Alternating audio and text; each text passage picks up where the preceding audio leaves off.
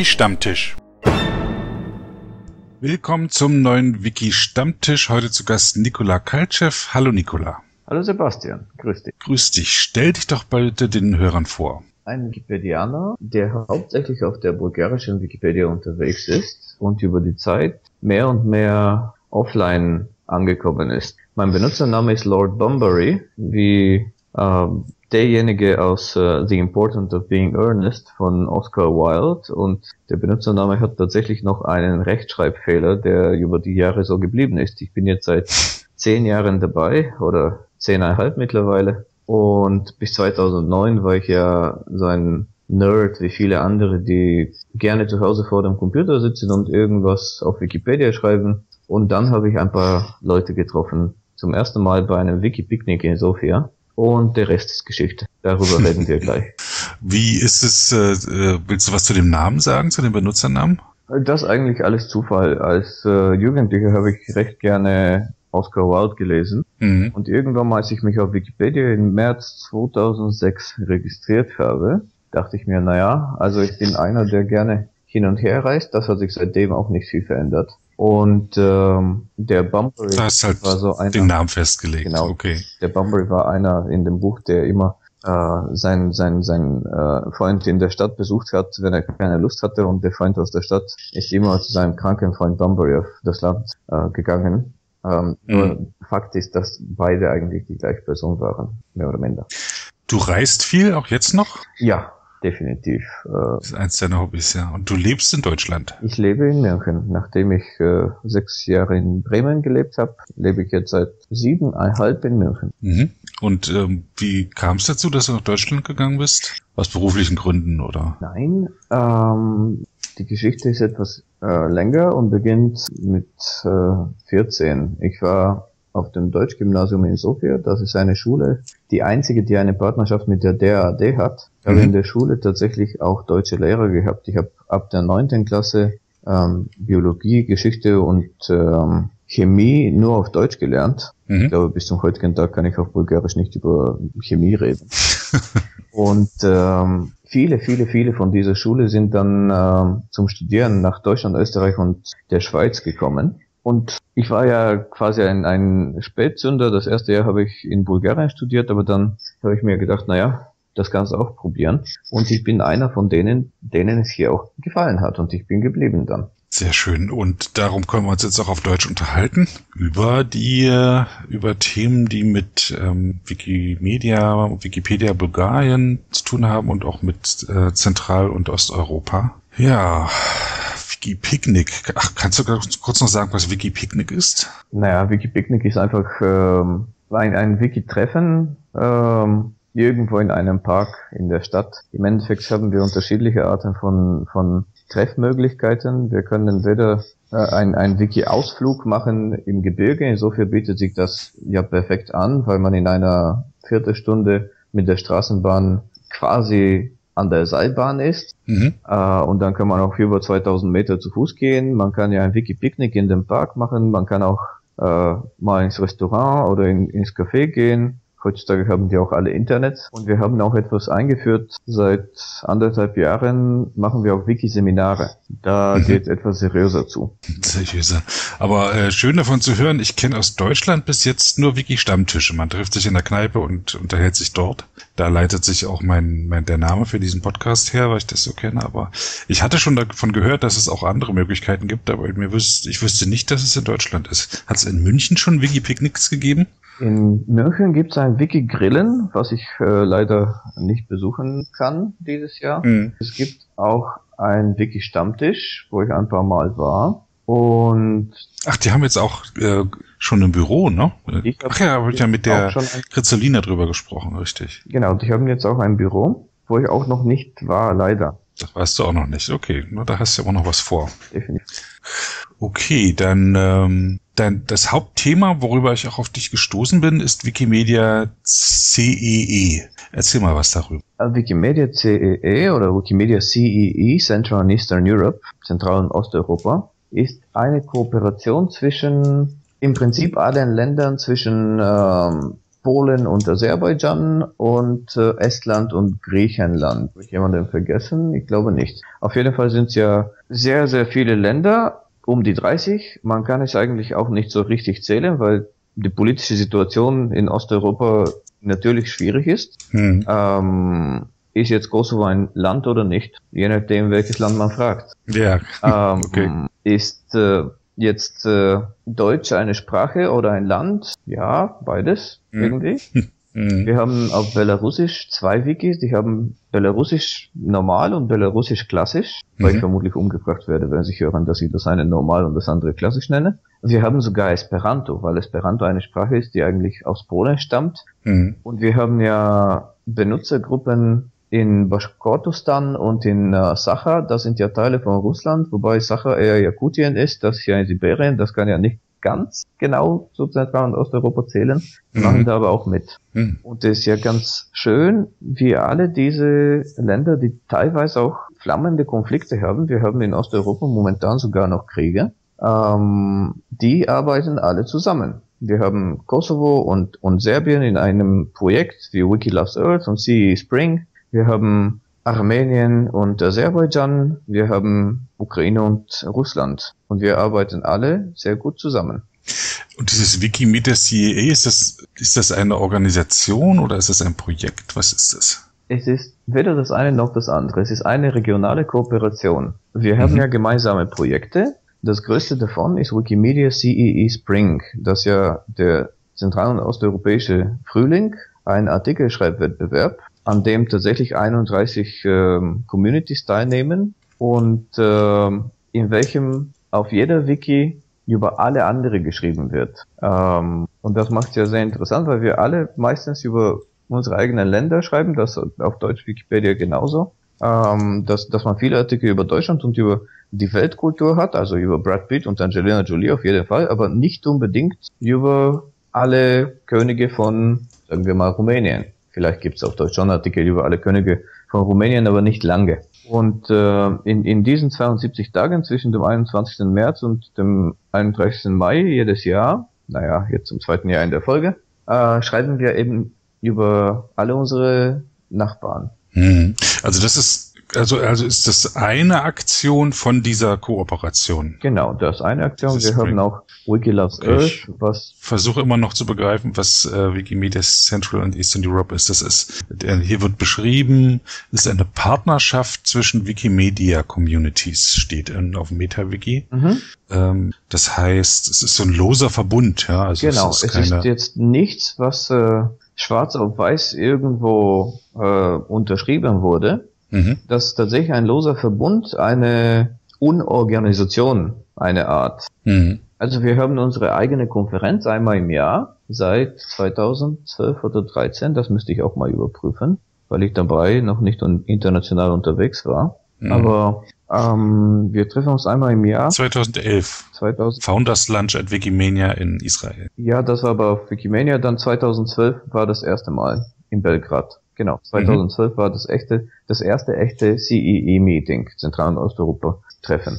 Ähm, wobei eigentlich die Kooperation richtig stark geworden ist mit dem Treffen in Kiew in 2014. Das war ja ein Treffen, zu dem viele Angst hatten zu fahren, weil es in einem Land war, äh, was gerade in einem mm, Krieg sich befand. Ähm, es gab schon alles, was, was in, auf, auf dem Krim passiert ist, alles, was in Donetsk und Lugansk passiert ist und, und viele Leute hatten Angst, dass, dass sie nach Ukraine fliegen. Ja, klar. Trotzdem haben wir uns alle dort getroffen und wir sind alle als äh, Freunde und Partner zurückgekommen. Das war wirklich quasi der Startschuss von, äh, von, von dieser Kooperation in einem großen Stil. Dann kamen wir auch mit dem Gedanken von CE Spring und das hat uns auch gebündelt. Wir haben ja dieses eine große Projekt, aber wir organisieren auch Wiki Loves Earth zusammen. Das äh, kennt auch jeder in Deutschland hoffentlich schon. Ähm, ein, ein Projekt über ähm, Naturschutzgebiete und Bilder von denen. Ähm, und wir haben auch ein Projekt in den Karpaten. Da sind natürlich nicht alle eingebunden, weil nicht alle Länder die Karpaten bei sich haben. Mhm. Und wir tauschen uns auch gerne über Bots, Tools ähm, und, und alles Mögliche. Auch ähm, unsere ähm, Schulprogramme im Endeffekt. Es gibt Länder wie, wie Serbien, wo man tatsächlich in den Schulen unterrichtet, wie man kritisch Texte liest. Das ist sehr wichtig, etwas, ja. was eigentlich extrem wichtig ist. Das könnte man in jedem Land gebrauchen. Mhm. Die sind Vorreiter an dieser Stelle. Die, die Armenier haben Wikicamps, bei denen Hunderten von Kindern auf Wikipedia und Wiktionary schreiben. Auch etwas sehr Spezielles und, und Spezifisches und sehr Gutes. Die Ukrainer und die Polen sind jetzt die zwei größten Organisationen in unserem Teil der Welt und sie unterstützen im Endeffekt auch mit, mit methodischem Know-how allen anderen. Im Endeffekt, wenn ich an Wikiloves Earth in Bulgarien vom letzten Jahr denke, zum ersten Mal haben wir es gemacht und das klingt jetzt wie eine Anekdote, aber es ist tatsächlich eine wahre Geschichte. Ich wurde von einer Freundin von der bulgarischen Wikimedia-Organisation äh, gefragt, Nikola, was hältst du eigentlich davon, wenn wir Wikiloves Monuments machen? Und ähm, dann ähm, habe ich gesagt, ja, es sind zwei oder drei Monate von jetzt, das ist alles wunderbar. Und dann habe ich eine ukrainische Freundin gefragt, was meinst du denn, schaffen wir Wikiloves Monuments zu organisieren? Ja, aber warum organisiert ihr nicht gleich Wikiloves Earth? Ja, weil es in zweieinhalb Tagen beginnt. Hm. Äh, ja, das macht ja nichts. Wir helfen euch. Und wir haben es in zweieinhalb Tagen durchgezogen. Wir haben es tatsächlich geschafft. Ähm, und, und das ist nur, weil wir in diesen zweieinhalb Tagen an der Hand genommen wurden. Und ich kann mich an diese Nacht erinnern, das war Sonntag auf Montag. Ähm, und um zwei Uhr deutsche Zeit, das ist drei Uhr bulgarische und ukrainische Zeit, haben wir noch an den letzten Details gearbeitet, so dass wir starten können. Und wir alle mussten am Montag ja zur Arbeit. Aber trotzdem haben wir dann alle schnell geschlafen danach.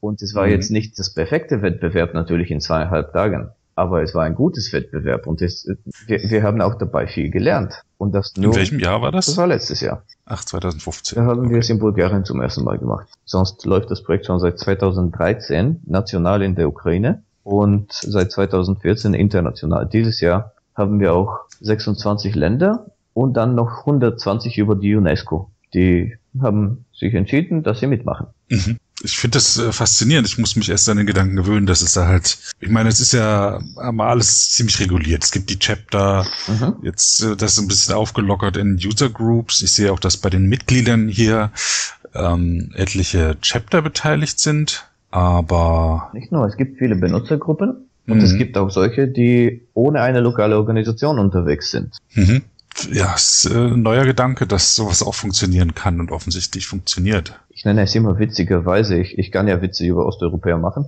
Ähm, wann auch immer es ja ähm, unorganisiert läuft, dann nennen wir es mhm. ja CEE-Style, Zentral- und Osteuropäischer Stil. Und ähm, wir sind einfach Meister darin, im letzten Augenblick noch etwas aus der Ärmel zu schütteln. Mhm. Das heißt, ihr habt 2000 äh, oder Bulgarien hat zum ersten Mal 2015 an diesem Wettbewerb überhaupt teilgenommen. Wiki Loves Earth, ja. Ja, wie viel haben da teilgenommen? Also letztes Jahr. In, in Bulgarien dann? Ja, es gab über 100 Teilnehmer und über 1500 Bilder. Nicht schlecht, dafür, 100 Teilnehmer bei Dass wir ja. keine Werbung hatten, dass wir ähm, keine Preise hatten, ähm, war das eigentlich für ein kleines Land wie Bulgarien, da muss man sich ja vorstellen, die Einwohnerzahl von Bulgarien ist weniger als von Bayern. Mhm. Eigentlich gut. Das ist eine enorme Anzahl, ja. Und dieses Jahr, ein Jahr später, haben wir äh, mittlerweile so eine Media Attention bekommen, dass wir eine Briefmarke mit einem der zehn besten Bilder aus Wikiloves Earth in Bulgarien aus diesem Jahr veröffentlichen. Mhm. Das wird die zweite Briefmarke mit Wikipedia, mit der Wikipedia-Logo weltweit. Nicht schlecht. Äh, äh, ist es so, dass Wikiloves Earth eine größere, größeres Interesse trifft als Wikiloves Monuments? Wir haben leider in Bulgarien kein, kein Freedom of Panorama. Wir haben keine Panoramafreiheit. Ah, okay. In Deutschland und äh, in Polen und, und ähm, in weiteren Ländern kann man ja alles auf der Straße fotografieren und äh, auf Wikipedia hochladen. Mhm. Und äh, in Bulgarien wie in Frankreich und, und anderen Ländern, Estland zum Beispiel, ähm, darf man nur Sachen auf äh, Commons hochladen, bei denen der Architekt oder der Schaffer ähm, vor mehr als 70 Jahren gestorben ist. Mhm. Und das bedeutet, dass viele von den Monumenten ähm, einfach nicht fotografierbar, beziehungsweise die sind ja sehr wohl fotografierbar, nur nicht benutzbar in diesem Sinne. Nicht unter freier Lizenz ja. benutzbar. Ja. ja, ich weiß, dass in Frankreich die sich immer behelfen, indem sie wirklich nur historische Gebäude fotografieren, was es natürlich aber trotzdem einschränkt. Genau, wir haben ja in Bulgarien ja viele ähm, historische Sachen auch. Wir haben ja eine lange und komplexe Geschichte und, und Sachen noch aus der römischen Zeit, aber trotzdem ähm, gibt es auch viele, viele Monumente von letzter Zeit und wirklich, äh, so dass, so dass der Architekt vor 70 Jahren gestorben ist, das Jahr 1946. Mhm. Ähm, das heißt, zwischen der, der ähm, äh, Befreiung von Bulgarien von dem Ottomanischen Reich in 1878 und 1945, das ist ja im Prinzip alles, was wir hätten. Und, und die Hälfte davon dürfen wir nicht, nicht benutzen unter freiem Lizenz, weil ähm, eben keine Panoramafreiheit existiert. Aber wir hoffen, dass wir auf äh, europäischen Ebene irgendwas reißen in nächster Zeit mhm. und dann für die ganze EU die Panoramafreiheit tatsächlich kommt. Okay, vielleicht, mir ist gerade eingefallen, dass wir vielleicht zu Anfang hätten erklären sollen, Wikiloves Monuments ist ein internationaler, weltweiter Wettbewerb, an dem circa 40 Länder jedes Jahr teilnehmen, bei dem ähm, Baudenkmale fotografiert werden. Und Wikiloves Earth ist ein Wettbewerb, der in, also in Anlehnung an diesen Wettbewerb entstanden ist und bei dem Naturdenkmale fotografiert werden. Mhm. Naturdenkmale heißt das, dass sie in einer Denkmalliste stehen müssen? Ähm, Naturdenkmale bedeutet, dass das besondere geschützte Gebiete sind. Das unterscheidet sich ja von, von Land zu Land, aber mhm. die müssen tatsächlich in einer Liste von, von der Regierung stehen. Mhm. Und teilweise gibt's ja äh, auch Schwierigkeiten, äh, die man sich nicht vorstellen kann. Äh, die Ukrainer mussten ihr Land verklagen, um auf so eine Liste zu kommen. Um die einsehen zu dürfen? Ja. Ah, okay. Das kenne ich aus, aus Sachsen, äh, wo auch äh, Städte verweigern, die Denkmalliste herauszugeben und sich auf den Datenschutz berufen. Mhm. Genau, sowas ähnliches. Das sind abstruse Sachen. Mhm. Und ähm, ach nee, das war nicht in Sachsen, das war in Thüringen. Ich entschuldige mich hiermit offiziell bei Sachsen. ähm, äh, und vermutlich spielt auch die Panoramafreiheit da wieder rein. Ne? Wenn da ein einziges Gebäude mit auf dem Foto wäre, würde das ja schon wieder Schwierigkeiten bringen. Genau, also zum Beispiel können wir keine Bilder von Hütten hochladen. Mhm. Also äh, äh, Gebirgshütten. Genau. Oder was. Aber es kommen trotzdem ähm, viele Bilder und, und dieses Jahr hatten wir auch ein paar Reize mehr geschaffen. Wir haben eine ähm, Pressearbeit im Endeffekt eingeführt. Wir haben Pressemitteilungen geschickt. Ähm, ich bin auch in dem internationalen Team und äh, also dieses Jahr, letztes Jahr natürlich nicht. Letztes Jahr haben wir es gerade noch geschafft, es bei uns zu organisieren. Ähm, und, und wir haben aus internationaler Sicht auch Beispiel, ähm, Beispiel Pressemeldungen äh, verteilt, so dass auch die, die kleineren Communities, die sich mit sowas einfach nicht auskennen, ein Beispiel haben. Und, mhm. und wir haben auch eine Preisverleihungszeremonie für, für das erste Oktoberwochenende eingeplant mhm. und wir haben diesmal auch kleine Preise gehabt. Also im Endeffekt, der erste Preis ist 300 Euro, der zweite Preis ist 200. Nein, nicht mal Euro. Äh, Lever, das sind ja 150 Euro, 100 Euro mhm. und dann die nächsten acht Preise sind 50 Euro. Das mhm. ist wirklich jetzt nicht als Bereicherung gedacht, sondern als Wertschätzung. Mhm. Und ähm, und jetzt die wirklich coole Tatsache, dass eine Postmarke, Briefmarke gedruckt wird mit, mit einem der, der, der zehn Bilder. Mhm. Das ist ja noch größere Wertschätzung als dieser Geldpreis. Dann. Ja, die Philatelisten werden wahnsinnig. ja. Du hattest schon erzählt von dem Schreibwettbewerb äh, CE Spring. Mhm. Das findet einmal im Jahr statt, hat jetzt auch schon ein paar Mal stattgefunden. Was genau passiert da? Also das findet jetzt zum zweiten Mal statt. Ach, zum zweiten Mal. Und das okay. wurde ja in Kiew geboren, als unsere Kooperation tatsächlich ähm, gestärkt wurde. Ich glaube, das Wettbewerb hat hat eine große Rolle in dieser Kooperation. Und die Idee wurde ja äh, natürlich in einer Bar geboren, wo Wikipedianer sowas wie Wasser, Tee und Cola trinken. Mhm. Leider Gottes können Wikipedianer nicht, nicht viel Alkohol trinken. Das ist ja ganz merkwürdig. Und ähm, wir haben gedacht, naja, wir schreiben ja alle über uns selbst, aber wir schreiben nicht über unsere Nachbarn. Das ist ja leicht mhm. zu erkennen. Man braucht sich nur die, die zufälligerweise Artikel anzeigen lassen in einem beliebigen Wiki und man sieht es automatisch. Und wir haben aber in, in Zentral- und Osteuropa schon eine gemeinsame Geschichte. Also äh, Österreich-Ungarn war mal ein Land. Die mhm. Slowaken haben auch irgendwie dazugehört. Ähm, Österreich-Ungarn war ja noch größer, hat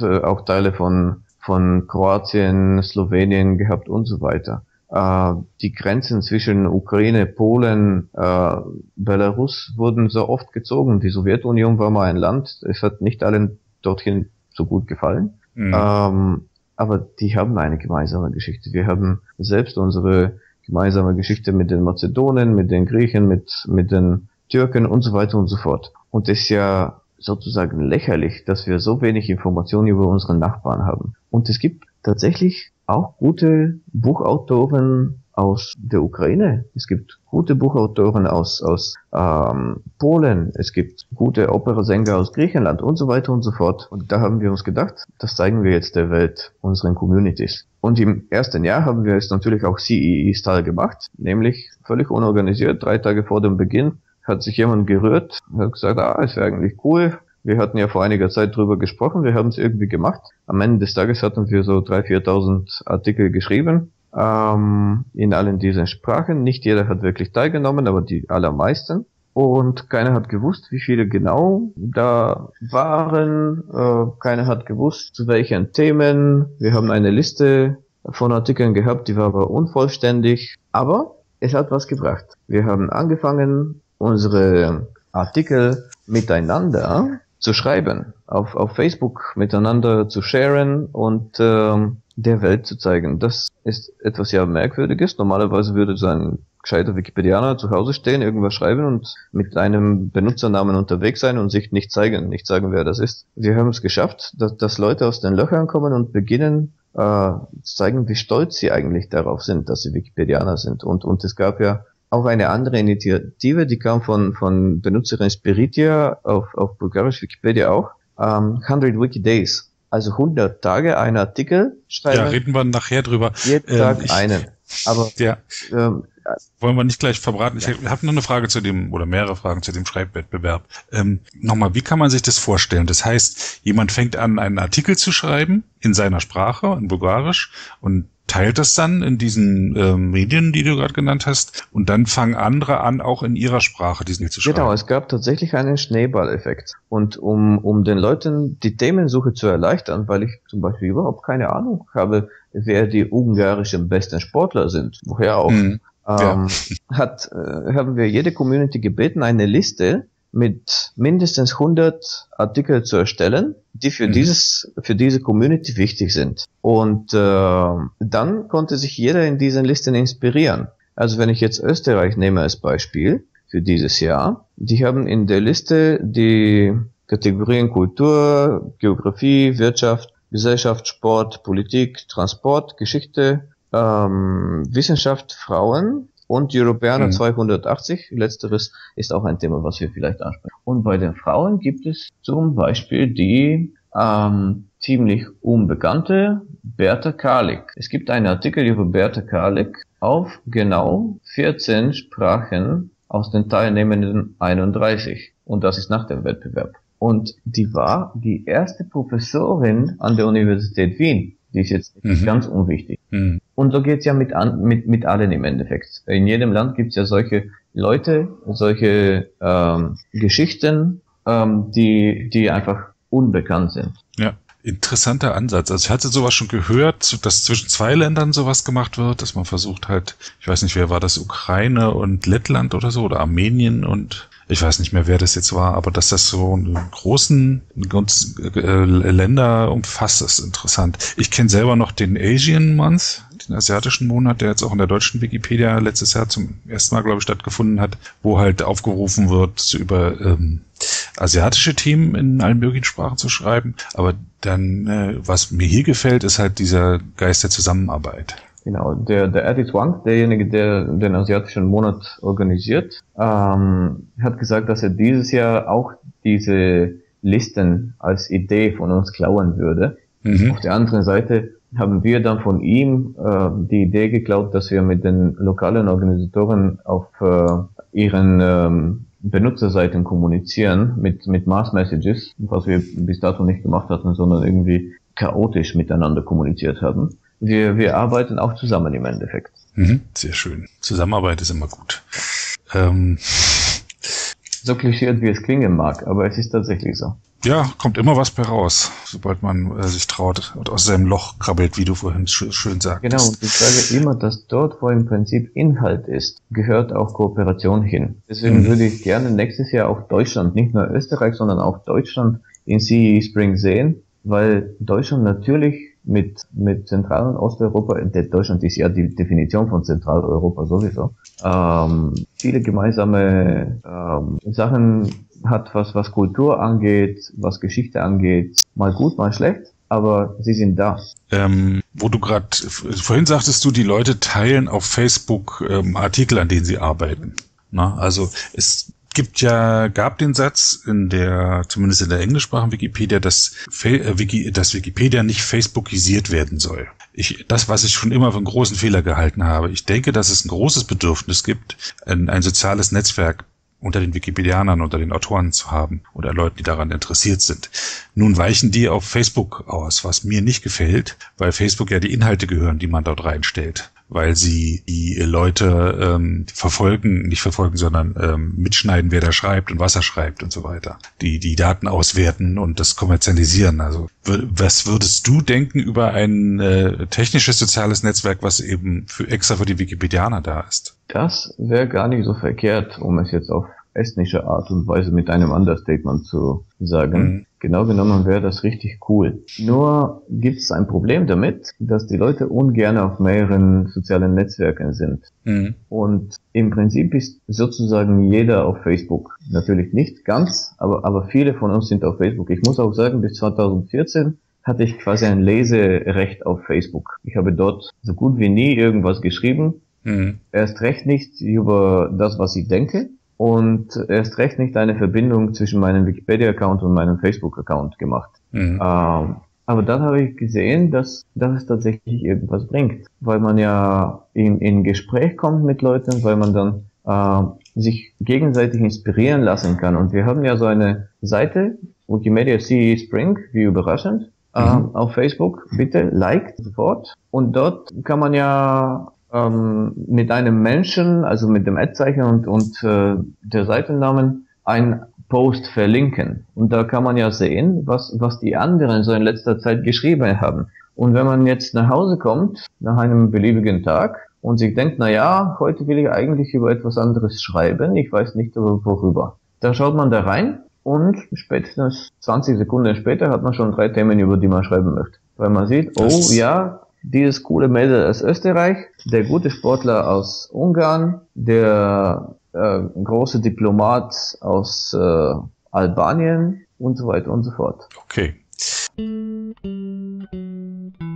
Freie Musik. Dann äh, jetzt reden wir schon fast eine halbe Stunde. Ich würde mal sagen, wir spielen ein wenig Musik, frei lizenzierte natürlich. Und du hast ausgewählt von dem Herrn Johann Sebastian Bach das Stück The Musical Offering, das musikalische Opfer. Gibt es da einen Grund, warum du dieses Stück gewählt hast? Die Komplexität. Aha. Da kann man ja bei Wikipedia nachlesen. Okay, dann es gibt, eine, es gibt eine gute Geschichte, wie der König äh, ein, ein Thema vorgegeben hat und dann dem Bach gebeten hat, irgendwas zu tun, was äh, äußerst schwierig ist. Und das ist das Ergebnis. Mhm. Dann hören wir uns das mal an.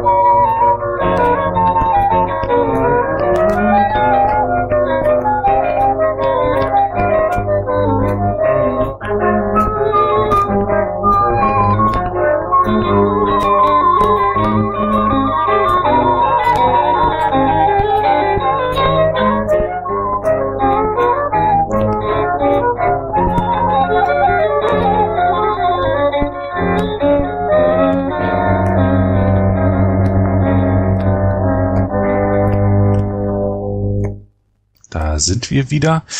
Zuletzt haben wir gesprochen über den Schreibwettbewerb CE Spring. Ähm, du hattest unter anderem gesagt, dass du dir wünschst, dass auch ähm, Teilnehmer aus Deutschland dazukommen. Was hätte die denn zu erwarten? Wie können die teilnehmen? Ähm, wie können sie davon profitieren? Sie können davon profitieren, indem sie einfach Spaß haben. Ähm, das ist großartig. Darüber geht es ja auf Wikipedia im Endeffekt, dass man Spaß hat. Ähm, aber abgesehen davon, ähm, wenn man jetzt ein Teil von diesem Wettbewerb ist, dann wird man genauso wie alle andere eine Liste von Artikeln herstellen können, sollen, dürfen, ähm, über die alle andere schreiben. Und äh, das würde bedeuten, dass in diesen 72 Tagen wesentlich mehr über Deutschland geschrieben wird als äh, sonst während des Jahres. Und ähm, die Deutschen werden dann auf dem eigenen Wiki mehr Informationen über Zentral- und Osteuropa schaffen, was heute sicherlich fehlt. Ich habe das jetzt nicht überprüft. Ich pauschalisiere, ja, tut mir leid. Aber ich gehe sehr stark davon aus, dass die Artikel auf Deutsch über Estland, na, Estland hat ja eine gemeinsame Geschichte mit Deutschland, eine wirklich ausgeprägte, aber über Belarus äh, relativ schwach sind. Mhm. Im Vergleich mit denen über, sagen wir mal, Spanien. Das heißt, äh, und man nimmt teil, in dem kann man, macht man von zu Hause, man muss, man, es, es gehören keine Real-Life-Treffen dazu. Je nachdem, wie man es ja äh, auf lokaler Ebene organisiert. Es gibt Aha. Leute, die Editor-Sounds machen und es gibt solche, die es nicht machen. Das hängt auch ein bisschen von der Organisation ab. Es gibt ja, das muss man sich jetzt ein bisschen vorstellen. Wir haben ja in Bulgarien so ungefähr 30 Leute, die sich persönlich kennen würden, unter allem Wikipedianer und um die 50, die aktiv schreiben. In Mazedonien sind es acht und in Deutschland sind es 1000. Hier kann man ja etwas mehr an solchen Offline-Treffen denken. Und äh, ich kann es mir sehr wohl vorstellen, dass man das auch in Deutschland benutzt, um äh, neue Benutzer für Wikipedia zu inspirieren. Dass man sagt, okay, wir treffen uns an einem Samstag bei Wikimedia Deutschland in München in dem Office und äh, wir machen ein bisschen Werbung davor und wir sagen, wir schreiben jetzt am Samstag über ähm, osteuropäische Wissenschaftlerinnen. Und da findet man schon jemanden, der vorbeikommt und sich vielleicht begeistern lässt. Das klingt doch gut. Dann an alle Hörer, wer da Lust hat, da was zu machen, wo soll er sich melden? Soll auf die Webseite gehen und dann loslegen? Oder er kann auch vermutlich dich ansprechen? Also mich kann man auf jeden Fall ansprechen. Dieses Jahr habe ich mir quasi die Hut ähm, gegeben als, als Hauptorganisator auf, auf, ähm, auf äh, internationaler Ebene, wobei ich extrem hohe Unterstützung von Polen und Ukraine bekomme. Die haben auch äh, jeweils eine Mitarbeiterin äh, für zehn Stunden die Woche für, für das Projekt freigestellt, weil man sonst alleine das nicht schaffen kann. Mhm. Und äh, man kann uns auf, auf unserem Blog finden, auf cespring.eu. Man kann uns auf Facebook finden, man kann uns natürlich auch auf Meta finden. Und man kann uns auf der deutschen Wikipedia finden, weil die Österreicher dabei sind. Hm, na dann los. Mal, hoffentlich äh, passiert jetzt was. Das wäre große Klasse. Du hast vorhin schon ein anderes ähm, tja, Format genannt, nämlich 100 Wikidays. Erzähl mal darüber ein bisschen was. 100 Weekdays ist etwas, was viele Leute mit äh, einem Projekt verwechseln. Ich danke dir, dass du es ein Format genannt hast. Das ist nämlich eher richtig. ich bin vorsichtig geworden. Ähm, ein Tag hat die liebste Wasser-Benutzerin Spiritia angefangen auf Facebook etwas zu posten. Nämlich, ich hatte immer geschrieben, Hashtag 100 Wikidays 001 und dann ein Link zu einem neuen Artikel auf bulgarisch Wikipedia. Mhm. Und am nächsten Tag hat sie ja Hashtag 100 Wikidays, Raute, äh, nee, Raute 100 Wikidays 002 und dann ein anderer Artikel. Und irgendwie, die ist ja ein bisschen berühmt. Die wurde ja dieses Jahr auch als äh, quasi Vize-Wikipedianerin des Jahres gewählt. Mhm. Ähm, Tag für Tag haben wir uns alle gefragt, was macht die denn dies bekloppt? Warum würde man jeden Tag ein Artikel schreiben? Und ich hatte irgendwann mal erklärt, wir haben natürlich gefragt, dass sie ja von den 100 Happy Days irgendwann mal gehört hat, also die 100 Glückstage, an denen man ja jeden Tag etwas finden sollte, was einen glücklich gemacht hat. Die ist ja dann nach 20 Tagen von den 100 Happy Days gescheitert. Sie hat irgendwann mal einen richtig schlechten Tag erwischt, an dem sie nichts hatte, was ihr Spaß gemacht hat, was, was ihr gut getan mhm. hat. Da hat mhm. sie gedacht, naja, das mache ich jetzt mit Wikipedia. Ich schreibe 100 Tage in der Folge, jeden Tag ein Artikel ohne dass ich nachhole und ohne dass ich etwas vorbereite. Und sie hat es tatsächlich geschafft, Leute zu begeistern. Und insofern Leute begeistern, dass es jetzt, ich schaue auf Meta, 153 Leute gibt weltweit, die es überhaupt begonnen haben. Und es gibt 45 Leute, die es geschafft haben. Ich war, äh, wie wir es nennen, Opfer Nummer 22. Mhm. Und ich habe es als siebter beendet. Und das war auch zu der Zeit, als CE Spring das erste Mal angelaufen ist. Und die beiden Sachen haben sich wirklich gut vermischt, weil man ja eigentlich jeden Tag einen neuen Artikel gebraucht hat, weil man gesagt hat, vor euch allen hier auf Facebook lege ich mich fest, liebe Freunde, ich werde 100 Tage lang einen Artikel schreiben. Und ähm, dann kommt man irgendwann mal nach Hause und hat keine Ahnung, worüber man schreiben soll. Mhm, und dann hat man eben in die 100 Wikitage Facebook-Gruppe geschaut, hat die Liste von den letzten Artikeln gesehen, die die Leute geschrieben haben und hat sich gedacht, naja, das wäre eigentlich cool. Hoppla, hier der nächste ukrainische Buchautor. Ich habe vor, vor, vor CE Spring und 100, 100 Wiki Days nie ein Buch von einem ukrainischen Buchautor gelesen. Mittlerweile sind es ja drei. Mhm. Und, und das ist gute Literatur. Das hätte ich davon nie gewusst. Ja, du klickst, äh, als ob das, äh, als ob du richtig da von der Begeisterungswelle erfasst worden wärst. Ähm, das hat ziemlich harte Regeln, ne? Man darf das nicht vorbereiten, man äh, darf nicht eine Journaliste angelegt haben und die dann an jedem Tag anfangen, sondern muss wirklich jeden Tag neu beginnen. Genau. Äh, jetzt gibt's ja auf Wikipedia natürlich die Hauptregel. Vergesst alle Regeln. Mhm. Wenn man jetzt einen Tag verschläft, mein Gott, man kann ja weitermachen. Ähm, man ist ja in einem Wettbewerb quasi nur mit sich selbst. Das ist eine Herausforderung. Das ist kein Projekt. Das ist äh, kein Wettbewerb. Das ist eine Herausforderung. Man will sich selbst zeigen, dass man es schaffen kann. Und wie ich es ja am Ende des Tages ähm, für die Präsentation auf Wikimania letzten Jahres äh, gesagt habe, naja, ihr habt jetzt alle gezeigt, dass ihr 100 Tage in der Folge etwas machen könnt, wenn es euch Spaß macht. Sagt es nicht euren Chefs.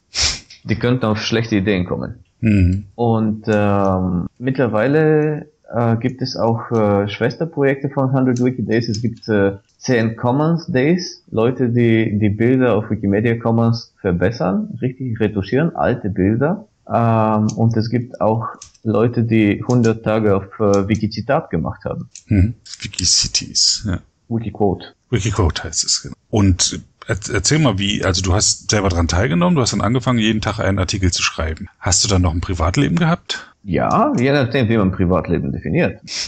Also ich habe mich okay, ja und lange Zeit geweigert zu beginnen. Ich war, wie gesagt, Opfer Nummer 22 und wir fangen mhm. ja bei Null an. Die Spiritia war ja Opfer Nummer Null. Und, und sie hat, sie würde es immer äh, sagen, dass, dass ich jetzt lüge, aber sie hat mir jeden Tag ins Gewissen gebissen. Ich habe jeden Tag gesagt, ja, heute habe ich darüber geschrieben, Meister ist nicht cool, würdest du nicht diesen Artikel schreiben? Es macht eigentlich extrem viel Spaß, weißt du, wie schön es ist? Schau, derjenige, diejenige haben auch begonnen. Und einen Freitagabend bin ich ja nach Hause gekommen, hier in München, ich bin aus der U-Bahn ausgestiegen und dann ähm, habe ich mir gedacht, naja, eigentlich keine ganz so blöde Idee. Und auf dem Weg habe ich mir gedacht, ja, John Lennon hat mal gesungen, Imagine all the people sharing all the world. Also eigentlich ein guter Slogan für einen Beginn. Und ich habe mich hingesetzt und an diesem Freitagabend einen äußerst langen Artikel über, also für die Verhältnisse von der bulgarischen Wikipedia, aber ich habe wirklich bis tief in die Nacht geschrieben. Ich habe aus dem Englischen übersetzt, ich habe Bücher über Beatles zu Hause, weil ich auch so ein großer Fan bin. Und, und der Artikel war wirklich schön. Das ist einer meiner sehr guten Artikel. Das gefällt mir. Und dann war es Samstag und am Samstag hat es auch sehr gut funktioniert. Aufstehen, sich mal einen Kaffee machen, dann den ganzen Tag auf Wikipedia schreiben. Wunderschön. Es war auch März. In März ist es immer noch nicht so, dass man ja jeden Tag ausgehen will. Und am Sonntag genau das gleiche Spiel. Am Montag bin ich zur Arbeit gegangen, danach direkt zum Schwedischkurs. Ich bin leicht bescheuert, ich lerne komische Sprachen. Ähm, entschuldigt Schweden, ich mag euch alle, deswegen lerne ich die Sprache. Und äh, dann bin ich um 10 zu Hause gewesen. Und dann habe ich mir gedacht, naja, das wird jetzt schon schwierig. ja, das geht vorstellen. Weil man natürlich nicht in 10 Minuten einen Artikel auf Wikipedia schreibt. Mhm. Ein neuer. Mit Quellenangaben. Ich bin um Gottes Willen Administrator und Bürokrat auf meinem Wiki. Ich muss ja schön schreiben. Ich, ich, ich mhm. habe eine Vorzeigefunktion. Wie würde ich denn sonst den neuen auf die Finger hauen? Und da habe ich gedacht, hm, was soll ich jetzt machen? Und ich habe gesehen, dass jemand sich nämlich rettet, indem sie über Athleten schreibt, die bei Paralympischen Spielen teilnehmen. Mhm. Warum ist das? Und das sind nicht so lange Artikel. Genau. Das sind ja eigentlich alles sehr faszinierende Menschen. Über die soll man schreiben. Muss man sogar. Und bei vielen von denen ist es so, dass sie bei den einen und anderen Paralympischen Spielen dabei waren. Die haben die Medaillen gewonnen. Aber drumherum gibt es ja nicht so viel zu schreiben. Die sind jetzt nicht solche Medienstars wie Michael Phelps. Und dann kann man relativ schnell einen Artikel schreiben. Und das, was ich gemacht habe, ist meine Rettung jeden Tag. Also ein paar Tage habe ich das gemacht. Und, und ähm, ich habe mir immer mal wieder auch lustige, interessante Themen und auch aus den Listen für CE Spring gewählt. Ich habe mich auch versucht, ich habe tatsächlich aus merkwürdigen Sprachen übersetzt. Ich habe einen Artikel aus dem Ukrainischen mit Google Translate, mit Google Übersetzer übersetzt und dann das Ganze irgendwie ins Bulgarische und dann habe ich meine ukrainische Freunde immer mal wieder gefragt, was ein Wort bedeutet, wenn, wenn äh, Google Übersetzer mir nicht weiterhelfen konnte. Und meine Rettung waren bulgarische Olympioniken. Die Bulgaren sind jetzt nun mal nicht die Deutschen. Die sind nicht alle Medaillengewinner, aber immer mal wieder haben wir bei Olympia. Aber sind ganz gut im Gewichtheben, glaube ich, ne?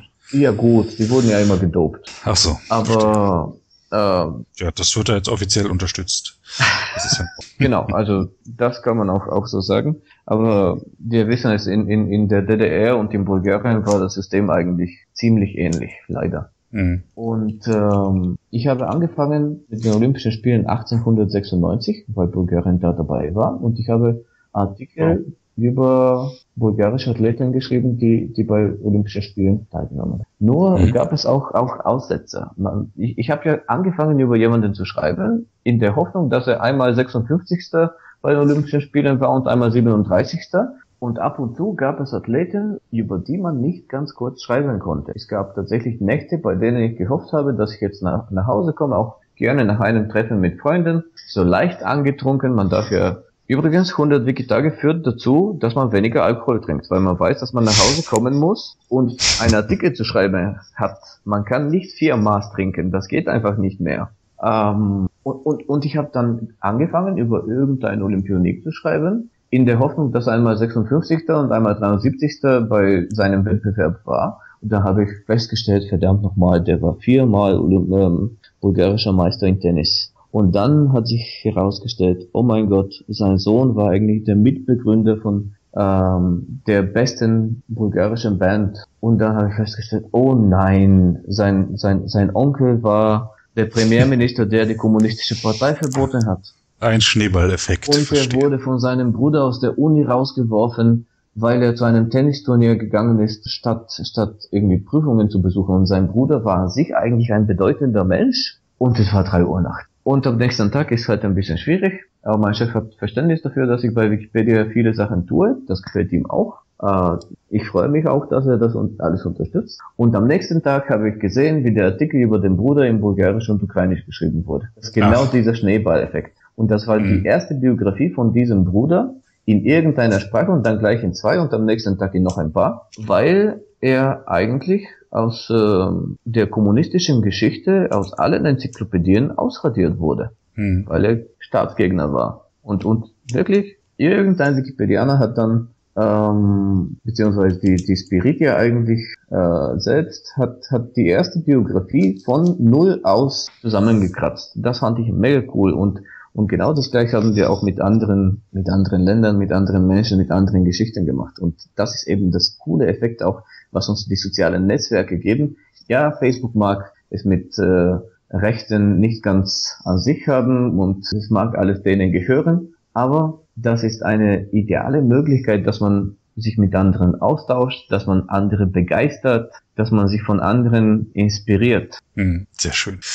Oder äh, schade, dass es auf Facebook ist, aber gut, dass es so eine Plattform gibt. Oder es gibt auch den Bedarf unbedingt von einer Plattform. Es ist nicht nur so, dass die Wikipedianer in ihrem stillen Kämmerlein äh, sitzen und vor sich hinschreiben, sondern es gibt einen großen Bedarf für gemeinsame Aktivitäten, insbesondere in Osteuropa. Und Mitteleuropa soll doch jetzt bitte mal auch mitmachen. Das wäre schön. Und 100 Wiki-Days, aber da haben auch schon Deutsche teilgenommen. Habe ich gerade gesehen. Irgendwo hatte ich doch was. Schau mal. Nein, nein. Nein, nein vielleicht nein, noch nicht. Keiner auf German Wikipedia. In der Liste von 143 Leuten ist keiner auf der deutschen Wikipedia. Na dann, das ist, geht ja gar nicht. Das geht gar nicht. Das erlaube ich hm. einfach nicht jetzt. Es gibt hier Armenien, Griechenland, ähm, Spanien, Spanien Frank Frankreich, Norwegen, Lettland, Äh, Buryatisch, Punjabi, Javanese, ja. Telugu. Polen, Frankreich, äh, Englisch, Usbekistan, Norwegen. Japan. Japan, Mazedonien. Es gibt wirklich mal ein Thema, wo die Deutschen hinten an sind. Es, es hat ja durchaus seinen Charme.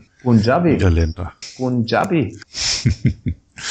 Okay, ähm, wo wir gerade ähm, 100 Tage jetzt hatten, dann vielleicht noch mal zu Bulgarien. Dort gibt es eine User Group. Mhm. Äh, bist du da irgendwie beteiligt? Sehr wohl. Ähm, wir haben ja einen relativ kleinen Kern von vielleicht fünf Leuten, die wirklich den Zug nach vorne ziehen. Wir haben dann noch, noch um die 10, 15 Leute, die regulär helfen und andere, die ab und zu mit zum Stammtisch kommen. Aber dafür haben wir wirklich viele coole Projekte. Wir haben ähm, Wiki Loves Earth und Wiki Loves Monuments, jetzt zum zweiten Mal in der Folge beides. Wir haben mhm. ein mega gutes, in meiner Wahrnehmung, Universitätsprogramm. Es gibt, habe ich es neulich gezählt, vier oder fünf Universitäten, an denen Wikipedia unterrichtet wird. Wikipedia Wie unterrichtet? Und, ja, also Wikipedia und Wikitechnologien. Ähm, mhm. Es werden Analysen gemacht von, von den sozialen Effekten von der ganzen, ähm, die Leute werden, äh, den Leuten wird beigebracht, wie man auf Wikipedia schreibt, wie man Wikipedia lesen soll und so weiter und so fort. Wir wollen auch in Richtung Schulen jetzt gehen, ab dem neuen Schuljahr. Da haben mhm. wir uns von den Armeniern ein bisschen inspiriert. Wir haben eine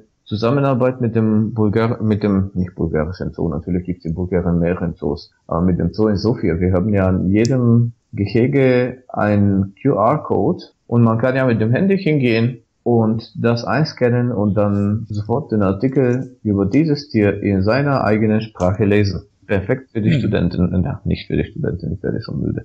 Perfekt für die äh, Touristen. Wir haben ein gemeinsames Projekt mit der numismatischen Gesellschaft. Ähm, wir haben ja hunderte von alten römischen Münzen auf Commons hochgeladen. Wir haben auch eine Zusammenarbeit, äh, Zusammenarbeit mit, mit äh, den bulgarischen Nationalarchiven. Ähm, das läuft jetzt mittlerweile seit drei oder vier Jahren bei drei unterschiedlichen Direktoren. Und äh, die freuen sich alle und unterstützen uns äh, so weit wie sie können mit ihren ähm, leider Gottes äh, kleinen Budgets und, und kleinen Möglichkeiten. Es, es geht einfach nicht, dass sie jemanden einstellen, der für Wikipedia Sachen tut, aber wir müssen die ganzen Gebühren normalerweise nicht bezahlen und wir bekommen die Möglichkeit, dass wir ähm, mehr Sachen bekommen als, als die Normalsterblichen. Mhm. Ich gucke gerade in den Kalender von Wikimedia jetzt auf Bulgaria. Da gibt's ein Ucheben Wiki Weekend. Was war das? Das war ein äh, Wiki-Wochenende, an dem man ja ein Seminar gehabt hat. Und im Rahmen von dem Seminar hat man auch eine Lernveranstaltung gehabt. Ähm, das heißt, es kamen Leute und man hat denen gezeigt, wie man auf Wikipedia schreibt. Was waren das für Leute, die da gekommen sind? Ganz unterschiedlich. Man, man, man kann nicht zwei der gleichen Gruppe zuordnen. Das war in, in Sofia oder auch in anderen Städten? Das war in Sofia. Momentan sind wir sehr zentralistisch irgendwie organisiert. Die, die Musik spielt hauptsächlich in Sofia, wobei es jetzt bald einen Universitätskurs in Burgas geben wird und wir arbeiten an einer Partnerschaft mit einem Museum in Russe. Und äh, wie habt ihr das bekannt gemacht, dass die Leute auch dahin kamen? Auf Facebook. Okay.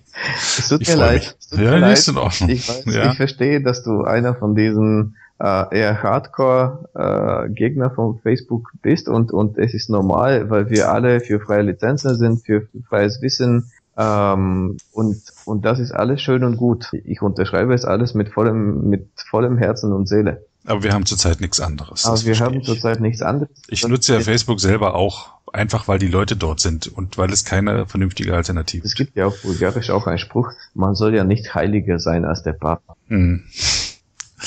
Okay. Und Wikiseminar sehe ich hier noch. Wikilive in Belgrad. Wikilive in Belgrad ah, war eigentlich die Konferenz von Wikimedia Serbien äh, zu der ein paar Bulgaren einfach äh, hingefahren sind. Sie sind in ein Auto eingestiegen und sind losgefahren. Mhm. Also auch da äh, übergreifend. Also wir haben ja in Wikimedia Deutschland auch schon mal Gäste aus den Niederlanden gehabt und so. Mhm. Und das sind auch äh, natürlich auch Österreicher bei Veranstaltungen dabei. Aber ähm, wie ist denn das äh, mit der mit Sprachbarrieren? Unterhaltet ihr euch dann auf Englisch bei diesen großen Konferenzen? Ja, definitiv auf ah. Englisch. Ähm, wir sind ja eine von den zwei großen Kooperationen weltweit. Die andere ist die Berocoop von, von den südamerikanischen Ländern und ich habe ja anderthalb Sprachen. Ich habe Spanisch und Portugiesisch. Mhm. Und wir haben so um, um die 30 Sprachen. Und das macht es natürlich unmöglich, dass wir bei einer Konferenz äh, miteinander auf, äh, auf einer gemeinsamen Sprache außerhalb von Englisch sprechen. Und äh, wir sehen zu, mehr und mehr Länder kümmern sich auch äh, explizit darum, dass die Entsandten Vertreter der, der Benutzergruppen der Chapters tatsächlich in ihren Babylon auf Wikipedia mindestens EN3 schreiben würden, mhm. so dass man tatsächlich äh, etwas auch beitragen kann. Und wir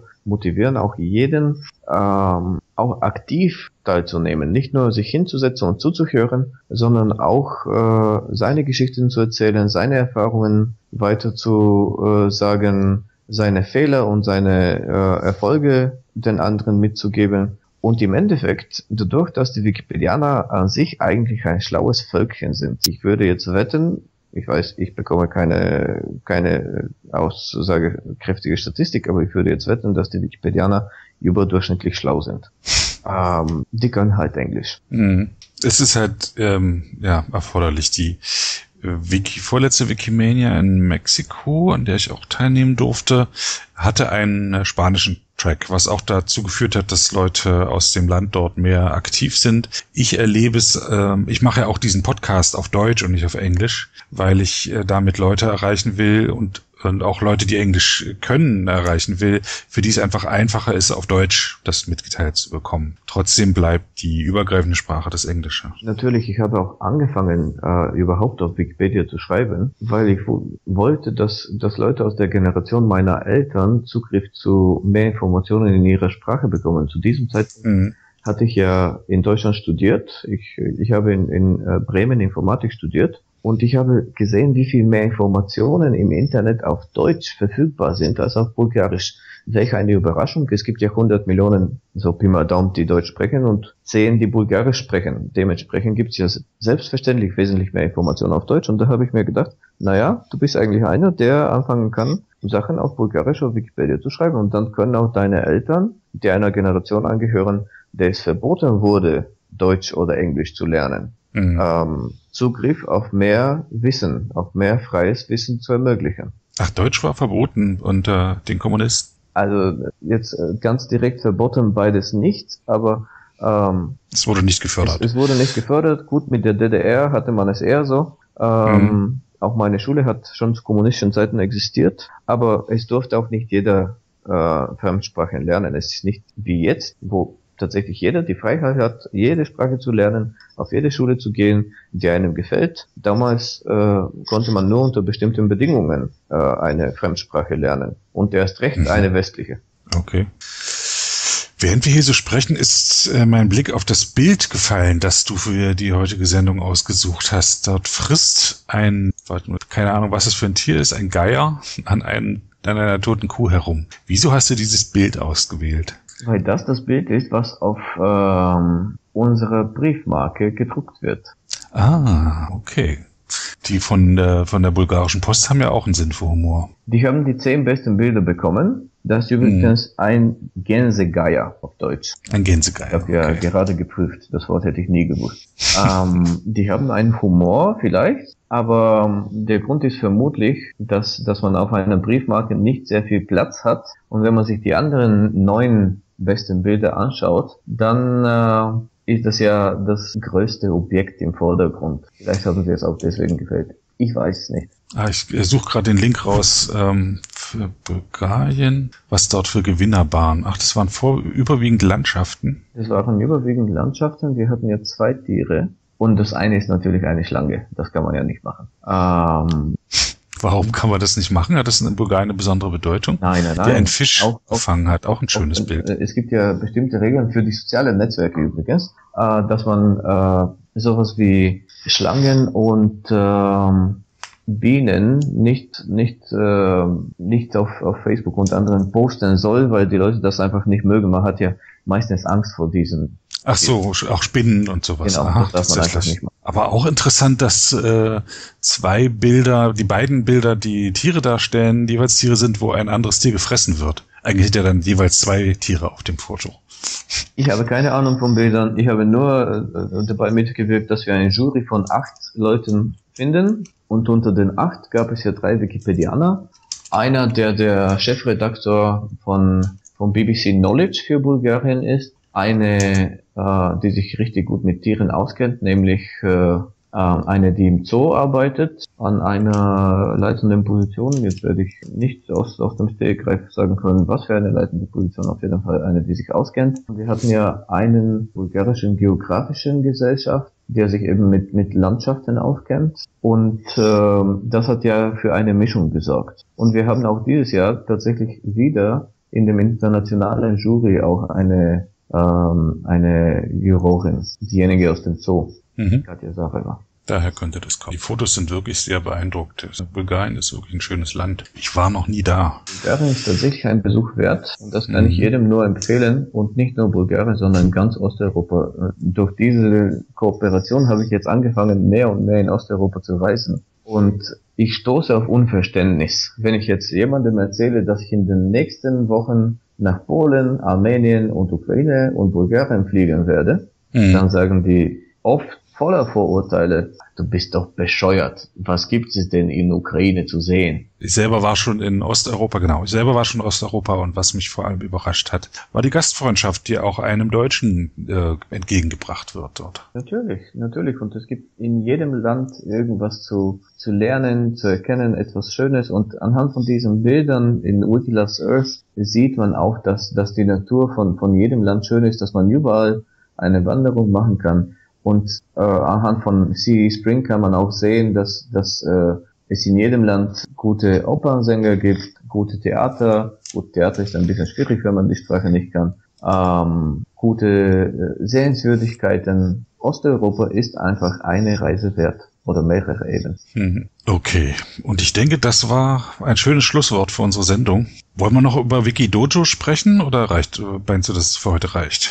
Also Wikidojo können wir noch sprechen und die Archives Challenge, aber das können wir auch bei einem anderen Gespräch machen. Dann machen wir Wikidojo noch, weil ich das auch eine großartige Sache finde, hätte ich es gerne noch mit drin. Okay. Dann erzähl mal, was Wikidojo ist. Wikidojo ist äh, eine Lerntechnik, die uns auch in Kiew aufgefallen ist, äh, an einem Abend, an dem wir auch Wein hatten. Aber Scherz beiseite, ähm, es geht um Folgendes. Es sammeln sich zehn Wikipedianer in einem Raum. Welche die neu sind, welche die alt sind, welche die dienstalt sind, welche die nie geschrieben haben, einfach eine Mischung. Und man definiert ein Piloten und einen Co-Piloten. Der Pilot bekommt einen Rechner, eine Tastatur, eine Maus und äh, ein Beamer. Der fängt an, einen Artikel zu schreiben. Das ist ja am Anfang von dem Wiki, Wikidojo von dem Organisator vorgegeben es ist wichtig, dass, dass der Artikel ja schreibbar ist, dass man leicht auf Quellen kommt. Mhm. Und ähm, der Co-Pilot darf mit dem Pilot reden. Jetzt mit der Zeit haben wir festgestellt, dass ein Mikrofon bei den beiden tatsächlich auch sinnvoll ist, sodass auch die anderen im Raum besser hören können. Und man sieht, wie sich zwei Leute unterhalten über einen äh, Schreibstil und man sieht, wie, wie die Leute auf unterschiedlichen Art und Weise schreiben. Nach sieben bis zehn Minuten scheidet quasi der Pilot aus. Der wird jetzt zu einem Observer, einem Kibitzer und einer von den Kibitzern wird Copilot und der Copilot wird Pilot. Und man merkt, wie jetzt der, derjenige, der bisher Copilot war und gegebenenfalls dem etwas nicht gefallen hat, beginnt den Artikel von dem ersten zu verändern genau dort, wo der Erste sich geweigert hat, irgendwas zu ändern. Und dann kommt der Kibitzer, der jetzt Copilot ist und stempelt quasi den Artikel auch mit seiner Erfahrung. Und man sieht, mhm. wie unterschiedliche Leute Wikipedia auf unterschiedlichen Art und Weise schreiben. Das ist etwas, was wir normalerweise nicht sehen. Jeder ja. schreibt ja zu Hause, alleine vor dem Rechner Mhm. Selbst wenn jemand, ähm, was weiß ich. Ach, man teilt die Erfahrung des Schreibens, das ist ja großartig. Genau, man teilt die Erfahrung des Schreibens. Man sieht sich ja von außen. Man sieht, was die anderen verärgert. Man sieht, was passiert, wenn, wenn jemand feststellt, dass ich etwas ohne Quellenangaben hinzugefügt habe. Da kommt einfach jemand hinter mir und völlig rücksichtslos löscht es. Dann wird es mir schlecht. Ähm, es gibt andere, die es nicht löschen, die nach einer Quelle suchen da denkt sich derjenige, der es gelöscht hat, naja, also der hat eigentlich recht, es war gar nicht so schwierig, eine Quelle dafür zu finden, dass äh, Britta Steffen irgendwann mal olympische Medaillen gewonnen hat. Warum hätte ich es löschen müssen? Eigentlich war ich blöd. Es gibt dann die Neulinge, die die typischen Fehler machen, irgendwas mit der Formatierung.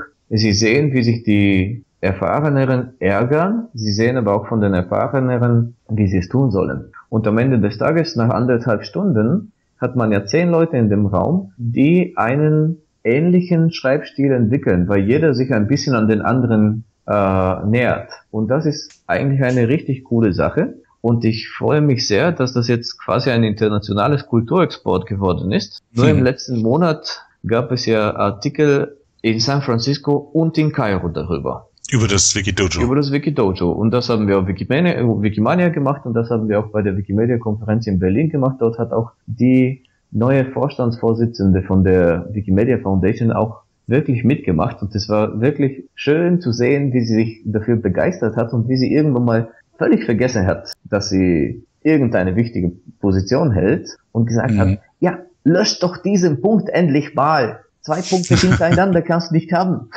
Also eine echte Wikipedianerin in der Seele. Das finde ich richtig gut, dass, dass sie jetzt äh, ähm, diese führende Position hat, weil, weil sie wirklich versteht, was ein Wikipedianer ist. Mhm. Die beste Art vielleicht auch heranzunehmen ja, an das Schreiben, dem man das gemeinsam macht. Genau, und das kann man auch bei solchen Wiki-Seminaren, bei Editathons, hat man auf Deutsch ein gutes Wort für Editathon. Das ist das, oh, nö, im Deutschen heißt es auch so. Ja, also bei Editathons kann man es auch einsetzen, um, um den neueren äh, Mitstreiter etwas auf den Weg zu geben, irgendwie zu begeistern. Mhm. Und das Problem haben wir in allen Sprachen, dass wir nicht genug Wikipedianer haben und wir alle suchen nach, nach Lösungen für dieses Problem. Und bisher ist mir irgendwie auch keine so wirklich bekannt. Vielleicht ist das die Lösung. Mehr Treffen offline, mehr Leute begeistern. Hier in München gibt's ja immer Stände bei, bei dem Corso Leopold, das ist so ein Straßenfestival. Es gibt immer einen Stand von Wikipedia. Vielleicht kann man auf diese Art und Weise Leute begeistern. Vermutlich sogar besser als mit diesem, äh, ihr, äh, ihr könnt äh, hinkommen und Wikipedia-Autoren Fragen stellen. Oder lieber dabei zuschauen, wie jemand schreibt. Vielleicht dann auch da schon mitmachen und hineingezogen werden. Ja, ich das habe ist, gesehen, ja, die Leute am Anfang gesagt haben, nee, ich werde es mir jetzt anschauen. Ne?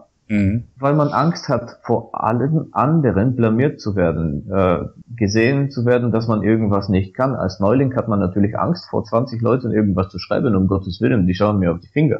Aber wenn die Atmosphäre locker ist, und das soll es ja auch sein, im besten Fall, dann äh, trauen sie sich. Und es ist auch passiert, ich habe es letztes Jahr auch in Estland gesehen, die Leute aus dem Publikum gesagt haben, dürfen wir das Wikidojo jetzt noch ein bisschen verlängern, so dass ich auch dran teilnehmen darf.